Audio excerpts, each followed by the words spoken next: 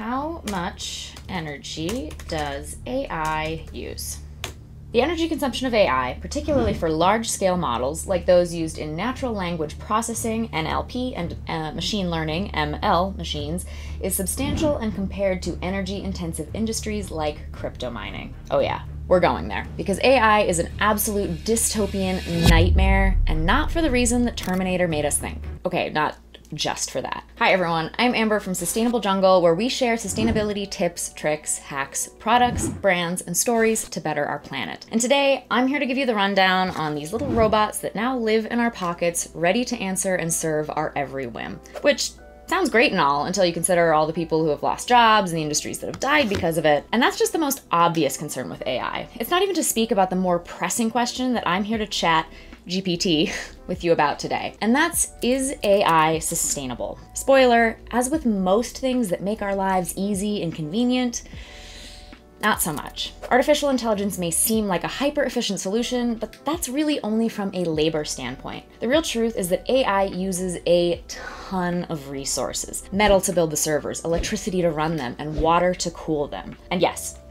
I know, I used a ChatGPT query in the intro of this video, but that was just to emphasize a point, and I wanted to see what it said, and I swear that that is the only thing I queried when making this video, because you know what? I'm kind of a fan of putting in the work and doing old fashioned research over trusting robots to get it right. So, Let's dive in, but first, please take just one second to like this video and subscribe to our channel down there if you haven't already so you can stay in the know on lots of other sustainability content just like this. Now, people have been talking about AI for decades, really since Terminator came out. Trust me. And then all of our Skynet fears were realized in November of 2022 when ChatGPT rolled out its first iteration to the masses. And then it feels like practically overnight, AI took over the world. Just two years later, and we are now four ChatGPT models later, and we have AI functionality infused with pretty much every search engine and social media site that we use. We can hardly go anywhere on the internet without being inundated by AI generated images that scream Uncanny Valley. Its rise has just been as as fast and furious as we feared, and this insane increase in demand means an equally insane demand in the thing needed to run these AI engines and supercomputers, and that's energy. And boy, is AI hungry for it. The amount of computational power used for AI is doubling roughly every 100 days. That's pretty wild to think about. Now, you may be thinking, oh, but isn't crypto the big bad wolf of energy consumption? And that is true. Bitcoin mining notoriously is really terrible for the planet, and it's estimated that Bitcoin mining alone uses more electricity annually than entire countries like Argentina. But Here's the kicker. Large-scale AI training is starting to give crypto mining a run for its virtual money. Their algorithms are getting more and more complex, and the bigger they are, the more energy they need. According to Jesse Dodge, a senior research analyst at the Allen Institute for AI, just one query to ChatGPT uses about as much energy as could light one light bulb for about 20 minutes. Okay, you say, well, all search engines take energy. Well, we know that, yes. But one ChatGPT query needs 10 times as much electricity as a regular Google search engine query. So remember when ChatGPT really went viral and everyone was on there asking it stupid stuff or trying to break it or make it say something wrong? Well, just keep that in mind that while you're hopping on the latest Instagram add yours story trend and asking chatbots to roast your feed, it's also roasting the planet because of it. And that's just one query. Now think about the scale of AI. How many people are using it? How many queries they're issuing a day? Now, as of this month that I'm filming this, October 2024, ChatGPT has over 200 million weekly active users. That's up from just 100 million only one year ago. And currently, there are more than 7,000 data centers worldwide, which is up from 3,600 in just 2015. In 2023, the International Energy Agency estimated that that these data centers already accounted for 1 to 1.5% of global electricity use and around 1% of the world's energy related CO2 emissions. Now, for comparison, in 2022, global aviation accounted for 2% of energy related CO2 emissions. But wait, it gets worse. They estimate that data centers' total electricity consumption could double from 2022 levels to 1,000 terawatt hours in 2026, which, by the way, is the same as the entire country of Japan Japan's electricity demand. You know, the country that has Tokyo, the single biggest and most populated metro area in the world. Yeah, AI uses as much energy as that. And AI will result in data centers using 4.5% of global energy by 2030 if we stay on this track. AI's energy demands have ramped up so exponentially fast that a lot of plans that we had to decommission several coal plants have actually been delayed in order to provide power to run them. About 1,300 megawatt hours of electricity, which is the equivalent to powering 130 US average homes for a year, is what it takes to train ChatGPT alone. And we don't have specific numbers for this published really, but it's said that ChatGPT, the current iteration, uses 50 times more in its training.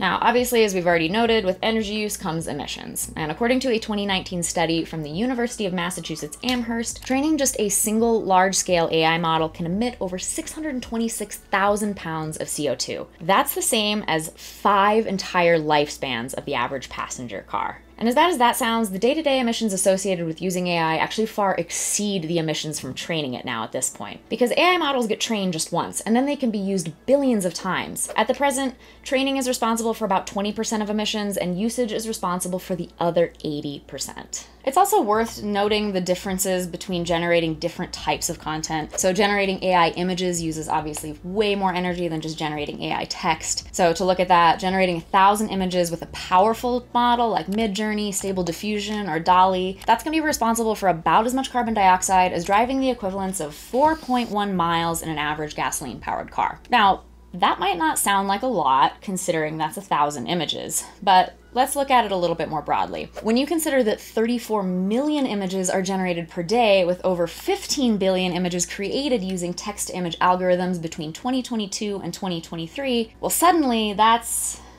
a whole lot of miles driving. All those AI art accounts now flooding social media platforms, which as an artist hurts my soul on a completely different level because I hand embroider things and now people are making AI photos of embroidery hoops as if it's not an actual process that takes over a hundred hours sometimes.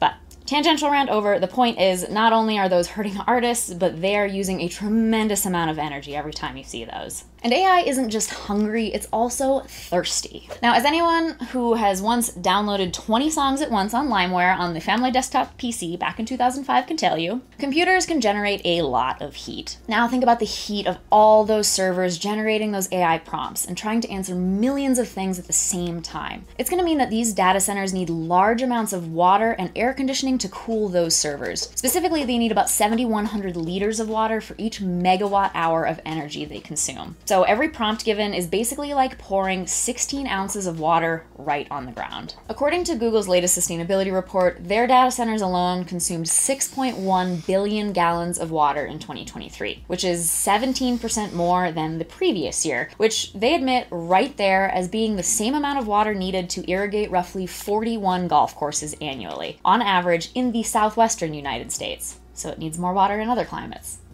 And in regions where climate change is increasing water stress, you know, like California, where Google's HQ and a lot of Silicon Valley tech companies are located, well, they've been in a drought for the last two decades most of the time, and the water used for these data centers is starting to become a particular concern for these locations. A study by Cornell University predicts that AI globally could consume 4.2 to 6.6 billion cubic meters of water by 2027. That's nearly two thirds of England as a country's annual consumption. Now, basically, basically, this all means that the impact of the tech industry on the whole is soaring, and not just through consuming energy and water, but generating carbon emissions. And unfortunately, we don't yet have standardized ways of measuring all of the emissions AI is responsible for. But we can get a really good sense of it by looking more microscopically at some of AI's major players. Going back to the big G here, Google's emissions have risen a whopping 48% in five years due to AI's energy demand. And it is absolutely tanking their energy efficiency at these data centers compared to their 2010 levels. According to their latest sustainability report, they saw a 13% year over year increase alone this last year,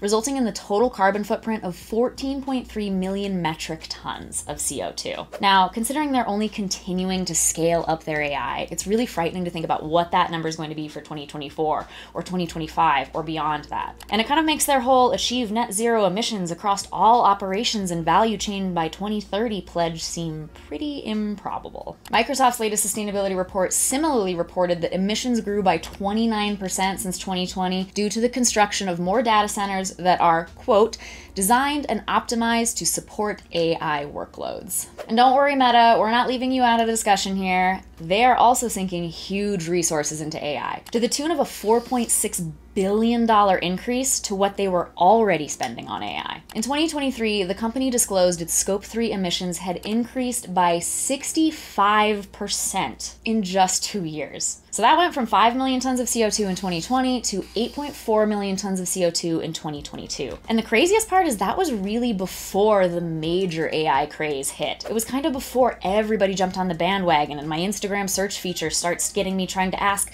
Meta AI instead of just finding the damn reel I was looking for. So imagine what it is now. So basically, all these tech companies that purport to have all these big, noble climate goals and net zeros targets, it all pretty much means nothing if they're going to keep massively expanding their data centers and their AI powered engines that's using so much energy and pretty much counteracting anything positive they've actually done. But at least these big three are disclosing that information. ChatGPT maker OpenAI has yet to disclose the emissions and all. And sure, OpenAI uses Azure infrastructure to inference, train, and develop their engines, which has been carbon neutral since 2012. But if you've watched our video on carbon offsets, you'll know that there's a lot of greenwashing in this sphere, and offsetting is not the silver bullet solution that they want us to think it is. So, in response, a lot of these companies are scrambling for solutions. Google just purchased 4 gigawatts of clean energy generation capacity to help power their operations, and Microsoft just signed a 20 year agreement with the dormant Three Mile Island in Pennsylvania, which, if you don't remember, was the nuclear reactor site that suffered a partial meltdown in 1979 in one of the biggest industrial accidents in the country's history. And while nuclear energy doesn't create any greenhouse gas emissions, there's still issues of handling radioactive waste and building up uranium that is needed to power it.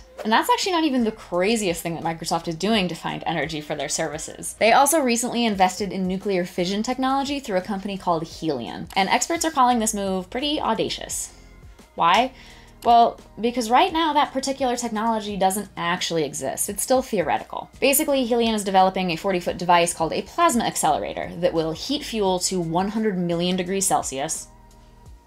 Mind blowing. And then it's going to heat an isotope of hydrogen and helium 3 into plasma and then uses a pulsed magnetic field to compress the plasma until fusion happens. This just kind of goes to show how far some of these companies are willing to go to keep pushing AI. And I mean, they do have reasons behind it. So, for instance, Microsoft's co founder Bill Gates said last week that AI could help combat the climate crisis. So, let's talk about whether it actually can or not. Well, his theory is that it can because big tech is seriously willing to pay extra to use clean energy sources. And yes, we have seen that they are. But the problem is, is that that's still not accounting for the fact that renewable systems are struggling to scale up to even these demands, let alone when those demands keep increasing.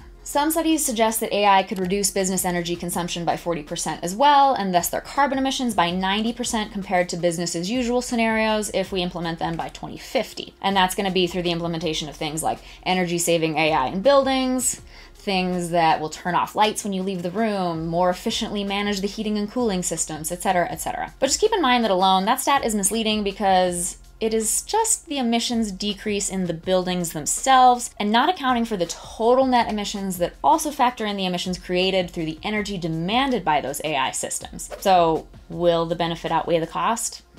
We don't really know yet.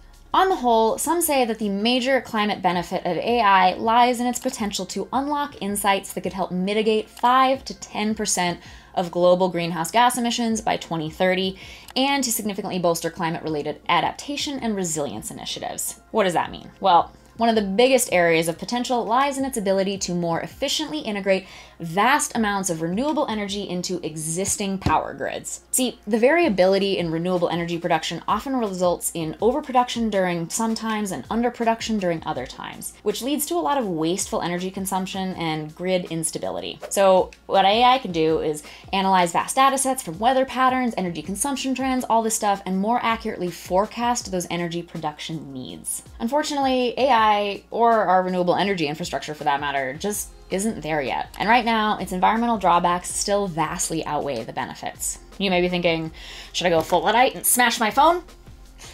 I mean, I want to do that on a daily basis, but maybe that's just me. If you're not like me, there's no need to break out the hammers just yet. Or do, whatever. But a few people doing that, unfortunately, isn't going to tackle the AI energy problem. Because unfortunately, in my opinion, and the opinion of a lot of experts on the matter, AI likely isn't going anywhere. And again, we can't measure its impact on the whole yet, so it's really hard to fix something when you actually don't know the full scope of the problem. But it is a problem that researchers are addressing, and they're trying to design new specialized hardware, such as new accelerators, new 3D chips, which offer a much improved performance, and new chip cooling techniques, which will use up to 25 times less energy than current techniques. Alongside this, reducing overall data usage, including the issue of dark data, which is when data is generated and stored and then never used again, uh, moving towards shared data centers, using smaller scale task specific models, minimizing the frequency of AI training cycles, and shifting AI workloads to align with times of overall lower energy demand. So, for instance, running tasks overnight or during cooler months, uh, so they don't have to use as much air conditioning and water to cool the servers. These are all things that experts say could lead to substantial energy savings. But the most important thing that we can do is to just be more discerning in our use of AI. I know it's shiny and new and fun right now, but really we don't need to be using it for everything that we currently are. In the words of Deepika Sandeep, an AI scientist at the Bengaluru based clean energy generation company, not every problem demands a machine learning based solution. And I couldn't agree more, and it's something that we users can take to heart too. Can you ask Google that really simple question instead of querying ChatGPT? Do you really need your virtual assistants to turn off the lights when a light switch exists right next to you. Basically, what I'm getting at is just being mindful about when you engage with AI tech.